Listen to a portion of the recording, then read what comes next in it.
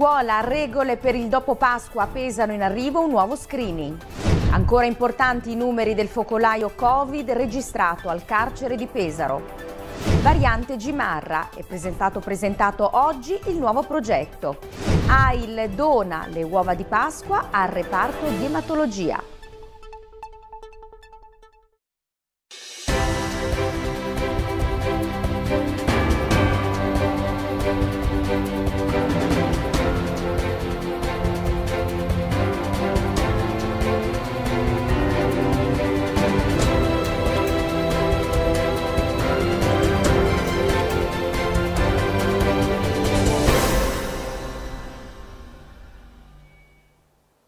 Buona serata, benvenuti al nostro telegiornale. Oggi è giovedì 1 aprile e siamo in diretta per il consueto appuntamento con tutti gli aggiornamenti del nostro territorio. E allora questa sera, subito in apertura, partiamo con la cronaca per parlare di un arresto nei confronti di una donna di 38 anni pesarese, colpevole di aver picchiato un disabile, accusato falsamente di averle sottratto del denaro.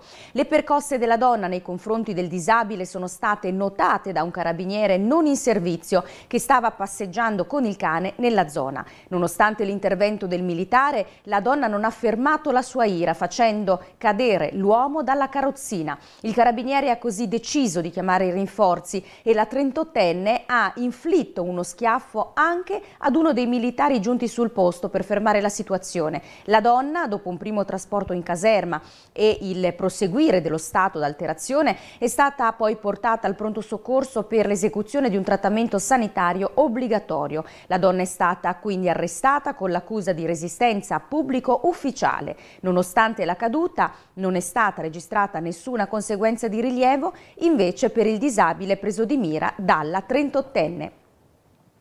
In questa apertura parliamo anche della scuola perché il nuovo decreto legge del governo presenta importanti novità per il ritorno in classe degli studenti che potrà avvenire anche in zona rossa fino alle classi prime della scuola media. Nel frattempo il comune di Pesaro ha annunciato un nuovo turno di screening e test rapidi. Vediamo il servizio di Daniele Romagna. Ripresa delle lezioni dall'infanzia alle prime medie anche in zona rossa, senza la possibilità da parte delle regioni di emanare ordinanze più restrittive per la chiusura degli istituti. Sono queste le prime indicazioni previste dal nuovo decreto legge del governo, rappresentanti parte delle novità dedicate al mondo della scuola a partire dal prossimo 7 aprile. Al termine delle festività pasquali, dunque, asili elementari e le classi prime delle scuole medie accoglieranno nuovamente bambini e studenti a prescindere dalla fascia di rischio assegnata alla Regione. Attendiamo la comunicazione ufficiale eh, insomma, da parte del, del Ministro dell'Istruzione eh, da poi diramare insomma, alle, alle, famiglie, ai docenti. Le scuole hanno, si sono subito adoperate eh, proprio per, al momento della chiusura per fare in modo eh, che la didattica a distanza quest'anno fosse organizzata in modo eh, abbastanza eh, chiaro, definito. Eh, abbiamo anche consentito agli alunni di, eh, con disabilità di poter essere in presenza insieme a un gruppetto di compagni, però chiaramente quello che ci auspichiamo è il ritorno in presenza di tutti gli alunni perché eh, la, la, la, scuola in presenza eh, è la vera scuola, insomma all'interno della scuola eh, le regole eh, vengono seguite in modo scrupoloso eh, da parte degli alunni, primis che hanno dimostrato un forte senso di responsabilità e da parte poi di tutto il personale. È vero che eh, la scuola mette, eh, mette, in circolazione tantissime persone, quindi il rischio è presente, però il rischio è più all'esterno naturalmente, magari nel momento dell'arrivo, quindi sui trasporti, eh, una volta che gli alunni entrano a scuola eh, le precauzioni insomma ci sono. Per le restanti classi delle scuole secondarie di primo grado, le lezioni in presenza ripartiranno soltanto con il collocamento delle regioni in zona arancione. In questa fascia anche le superiori potranno vedere tornare tra i banchi al 50% i propri alunni. Nel frattempo, l'amministrazione comunale pesarese ha già annunciato l'avvio di un nuovo turno di screening in partenza il prossimo 8 aprile e riservato attualmente per gli alunni delle classi prime delle medie. L'amministrazione è pronta ad allargare lo svolgimento volontario dei tamponi rapidi anche alle restanti classi delle scuole secondarie di primo grado e agli istituti superiori, non appena la ripresa delle lezioni in presenza verrà estesa anche a questi ultimi. Il Comune di Pesaro conferma la volontà di procedere con lo screening, si parla del terzo screening che il Comune di Pesaro da gennaio a oggi metterà in campo, l'8 e il 9 di aprile gli operatori sanitari andranno direttamente negli istituti scolastici, nello specifico solamente le prime medie saranno in classe, quindi i ragazzi di prima media, chi vorrà avrà la possibilità di effettuare lo screening. I genitori entro il 7 ci dovranno dare conferma così avremo eh, la consapevolezza di quanti sono gli studenti da tamponare. Eh, ci fa piacere perché comunque abbiamo avuto mh, grande stimolo anche degli stessi dirigenti scolastici, sono dalla nostra parte e cioè, ritengono che questo sia una forma per continuare l'anno in sicurezza e per chiuderlo nel migliore dei modi. La nostra volontà è quella di andare avanti fino alla fine dell'anno scolastico, quindi nel caso in cui dovessero rientrare nelle prossime settimane ragazzi di seconda, terza media e ragazzi delle superiori, la nostra volontà è quella di proseguire con lo screening ogni mese. Ricordo che nell'ultimo DL Sostegni di, Draghi, quello del 22 di marzo, ha previsto un ulteriore incremento di 150 milioni di euro a favore delle istituzioni scolastiche anche per effettuare i tamponi nelle scuole. Quindi il mio augurio è che poi anche gli stessi istituti scolastici uffici possano continuare in autonomia, ma sicuramente l'amministrazione comunale gli supporterà e gli sosterrà nel caso ce ne fosse la necessità. Ed ora gli aggiornamenti riguardanti il coronavirus tornano in linea con quelli delle ultime giornate, i dati relativi ai nuovi contagi da Covid-19 nelle Marche. Il Servizio Sanità della Regione ha comunicato che nelle ultime 24 ore sono stati testati 5.448 tamponi, 2.989 nel percorso nuove diagnosi, 2.459 nel percorso guariti.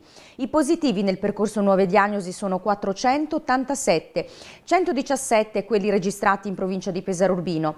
Alto invece il numero di decessi notificati nella serata di ieri. Delle 19 nuove vittime, 3 erano residenti in provincia di Pesaro Urbino.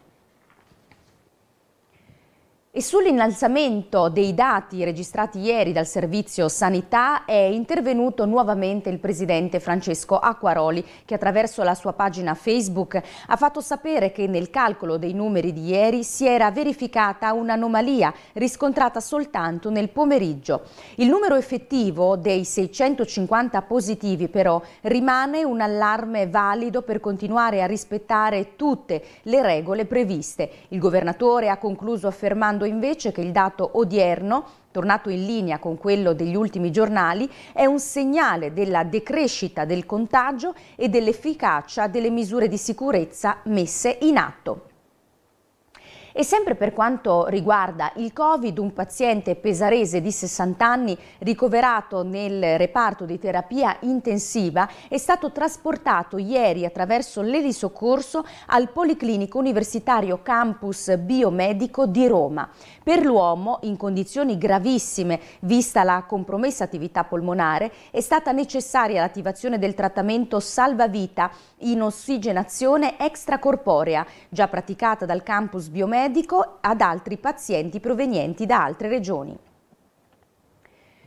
E continuiamo a parlare di Covid perché sono ancora alti e importanti i numeri del focolaio Covid registrato all'interno del carcere di Villa Fastiggi, dati in crescita tra i detenuti, mentre diminuisce il numero di positivi tra il personale. Tutti gli aggiornamenti in questo prossimo servizio. Non tendono a diminuire i numeri del focolaio Covid che ha avuto origine all'interno del carcere di Villa Fastiggi. Nelle scorse giornate il garante regionale per i diritti alla persona Giancarlo Giulianelli aveva chiesto informazioni in merito alla situazione della casa circondariale ai direttori e ai responsabili sanitari della struttura, presso la quale negli ultimi giorni si è iniziata ad osservare una diminuzione della positività tra il personale, con casi ancora in crescita però tra i detenuti. All'origine del focolaio l'ingresso di un carcerato inizialmente negativo ad un primo tampone ma risultato poi positivo ad un secondo test effettuato. Come spiega il segretario regionale del Sindacato Autonomo di Polizia Penitenziaria Nicandro Silvestri. La situazione attuale purtroppo dobbiamo riscontrare un incremento dei positivi presso la popolazione detenuta che oggi ci, si segnalano essere passati da 33 a 60 circa positivi e fortunatamente abbiamo un abbassamento della positività tra il personale che da circa una ventina di contagiati sceso, il numero è sceso a circa 12 unità. Solo un detenuto è ricoverato presso l'ospedale ma non, non risulta in condizioni critiche diciamo. risultano essere stato questo contagio da una persona che è arrivata dall'esterno e arrestata, praticamente con i tempi di incubazione del, del virus ha infettato anche gli altri detenuti perché pur essendo stato risultato negativo il primo tampone, il secondo tampone poi è risultato positivo, perciò già in, eh, aveva già in incubazione il virus diciamo. All'interno del carcere si sono organizzati con delle sezioni Covid, sono state prese tutte le misure che mh, ahimè dovevano essere prese preventivamente però eh, devo registrare, bisogna registrare che oggi comunque il carcere è in sicurezza, nel senso che si sono state prese tutte le precauzioni e il personale è stato dotato dei dispositivi di sicurezza. Noi come organizzazione sindacale comunque abbiamo chiesto alla, sia alla struttura regionale, eh, al PRAP, eh, che al Dipartimento di Amministrazione Penitenziaria, di verificare anche mediante una visita ispettiva e di vigilanza se presso l'istituto di Pesaro si sia ottemperato alle varie raccomandazioni fornite dai vari DPCM e a quanto previsto dal decreto legislativo 8108 relativamente alla valutazione dei rischi biologici e al suo necessario aggiornamento all'attuale crisi pandemica. Tengo a precisare che con il garante detenuti Giulianelli ci siamo sentiti e abbiamo chiarito eh, in merito al suo intervento che era dettato dal, dai dati forniti dall'amministrazione penitenziaria comunque il dottor Giulianelli eh, ha, ha, assicurato che appena si rimetterà dalla sua situazione di salute farà una visita personale al carcere di Pesaro per rendersi conto di persona della situazione. Ed ora ci spostiamo a Fano perché la giunta comunale fanese ha presentato il nuovo tracciato della variante di Gimarra, vera e propria strada della discordia che ha come obiettivo quello di alleggerire il traffico tra Fano e Pesaro. Tutti eh, i dettagli nel servizio di Simone Celli. Complessa, articolata, ma meno costosa e meno impattante per l'ambiente. La possibile futura variante di Gimarra ha ora un nuovo volto, grazie al progetto presentato dalla giunta fanese e che nei prossimi giorni sarà senz'altro oggetto di dibattito, con la promessa che quanto prima, Covid permettendo, si darà il via anche a un vero e proprio confronto con i cittadini. Intanto il nuovo tracciato presenta senz'altro delle modifiche sostanziali, una su tutte l'eliminazione della la tanto discussa galleria. Abbiamo presentato oggi il progetto di Sintagma eh, che prevede alcune modifiche rispetto al progetto inizialmente previsto dalla, dal comune di Fano. La prima eh, variazione riguarda la larghezza della strada, eh, mentre prima era prevista una larghezza di 8,50 m, adesso è prevista una larghezza di 9 metri, quindi due carreggiate da 3,50 m più un metro di banchina per parte. La seconda modifica sostanzialmente è quella che eh, elimina una galleria, una galleria naturale nell'abitato di Gimarra e eh, sostituendola con un passaggio intorno alla collina comunque nel rispetto dell'ambiente e lontano dalle case di Gimarra. Ci sono eh, previste sei rotatorie la prima lungo via Aldo Moro, la seconda lungo via del Torrente, la terza lungo via del Carmine, la quarta lungo via di Villa Giulia, la quinta eh, si trova per permettere l'accesso eh, diciamo, all'abitato di Gimarra e poi sulla statale 16. Sono previste eh, ovviamente eh, la strada è lunga 3500 metri circa, eh, si sviluppa appunto da via Aldo Moro fino alla statale 16 e eh, comprende una pista ciclabile che congiungerà via Aldo Moro, proseguendo la eh, pista ciclabile degli interquartieri, fino alla ehm, rotatoria di via del Carmine, quindi collegherà Gimarra con via Aldo Moro. La pista ciclabile sarà bidirezionale sul lato solo e sarà larga 2,50 m. Il progetto quindi si sviluppa da via Aldo Moro eh, si avvicina e passa dietro il campo da calcio eh, della zona trave, lambendo in particolare un, un, angolo della pista Zengarini e del circuito podistico Marconi, sempre lontana dalle case e sempre nel rispetto dell'ambiente, con opere di mitigazione che renderanno mh, invisibile questa strada, per poi attraversare comunque il torrente Arzilla in prossimità della zona Carmine e con una rotatoria davanti appunto la chiesa del Carmine, proseguire poi verso la statale 16. Occhio di riguardo anche per l'area adiacente alla chiesa del Carmine. L'idea di collocare una rotatoria proprio di fronte al sagrato aveva infatti provocato ben più di un mal di pancia. Abbiamo studiato con particolare attenzione la rotatoria davanti alla chiesa del Carmine. La rotatoria davanti alla chiesa del Carmine è un elemento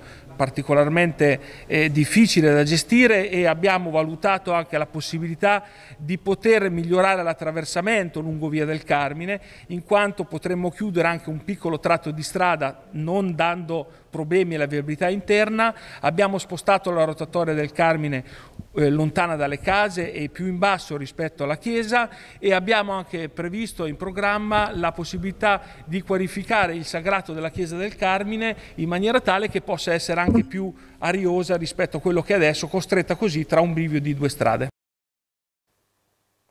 Parte la progettazione della ciclovia del Foglia, che sarà lunga circa 30 km per un investimento complessivo di 5,5 milioni di euro. Tutti i comuni coinvolti dall'opera hanno espresso parere favorevole a procedere nella sua realizzazione secondo la divisione dei compiti pattuita e che sarà messa nero su bianco in un accordo di programma.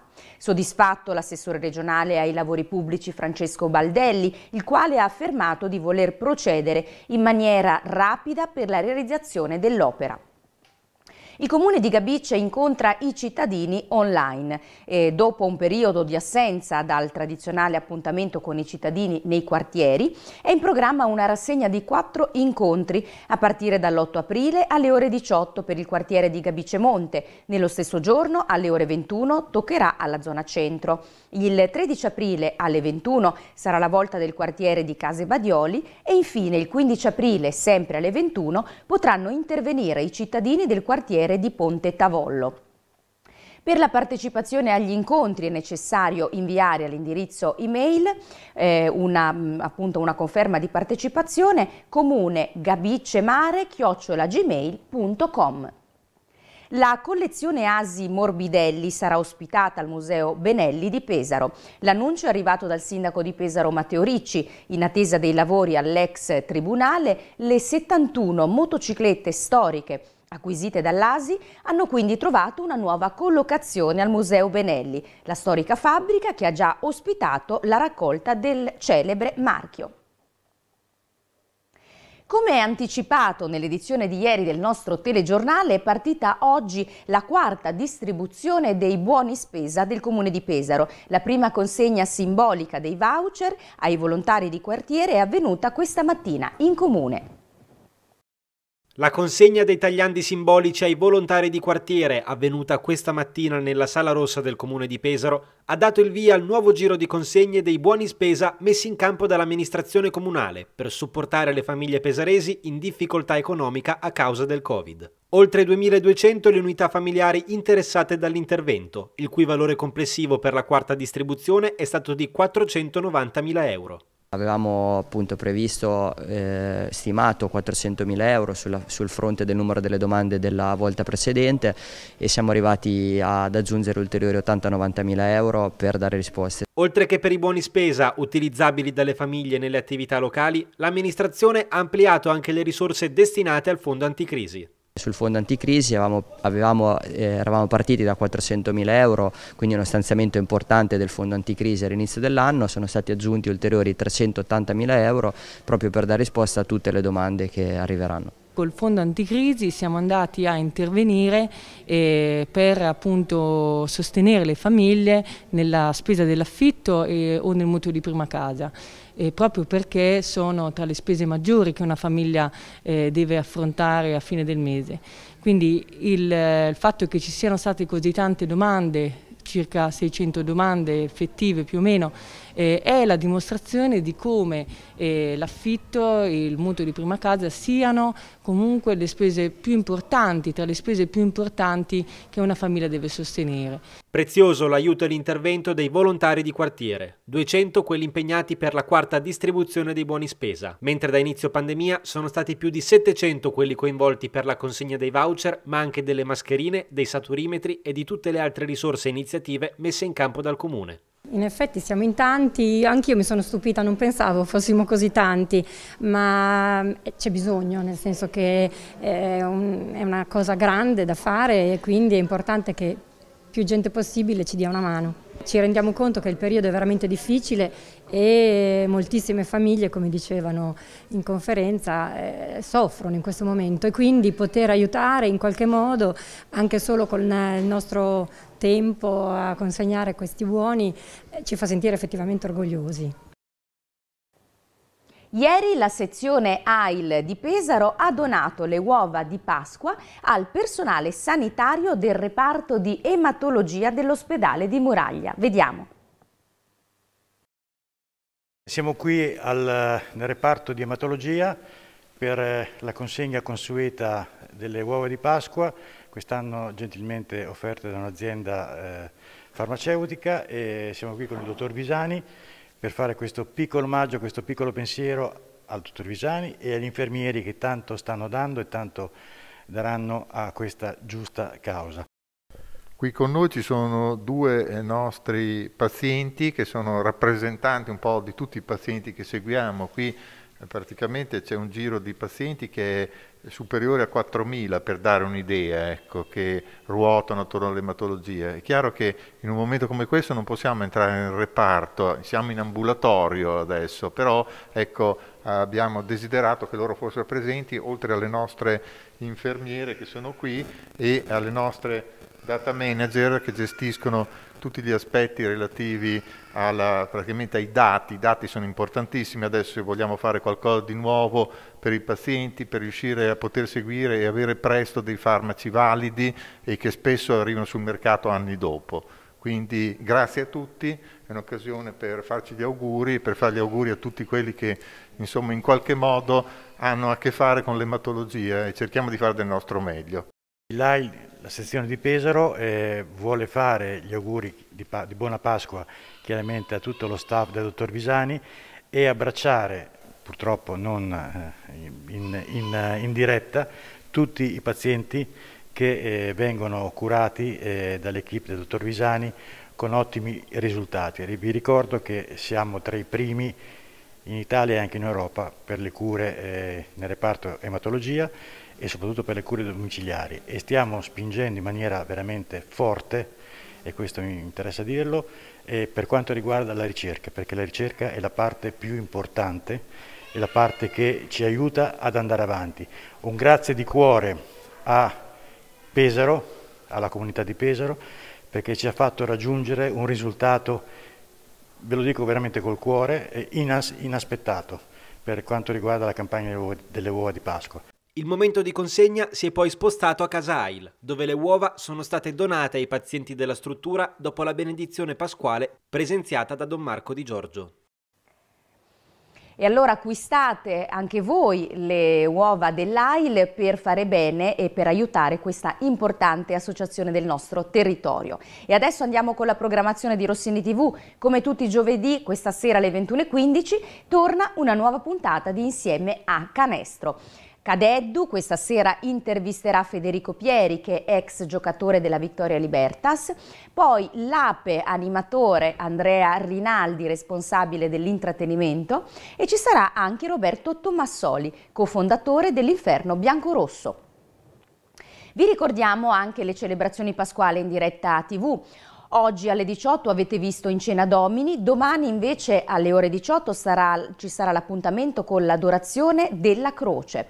Sabato alle ore 19 ci sarà la veglia pasquale, per arrivare poi domenica eh, per Pasqua alle 11.30 trasmetteremo in diretta appunto la messa pasquale. E poi vi ricordiamo anche che domani, venerdì, torna una replica di Casa Rossini che tra l'altro riprenderà la prossima settimana. Nella puntata di domani vedrete Dario Andreolli che è vicepresidente del Consiglio Comunale di Pesaro e poi Fabrizio Battistelli che è il presidente dell'ente Olivieri e ci sarà con noi anche Francesca Paolucci, sindaca di Tavuglia. Domani l'appuntamento è alle 10. E allora seguite la nostra programmazione su Rossini TV. Vi ricordo che ci potete seguire non solo sul canale 633 ma anche sul nostro sito rossinitv.it oppure sulla nostra pagina Facebook. Eh, vi ringrazio per essere stati con noi anche questa sera, domani vi aspettiamo con la nostra rassegna stampa in diretta alle 7.20.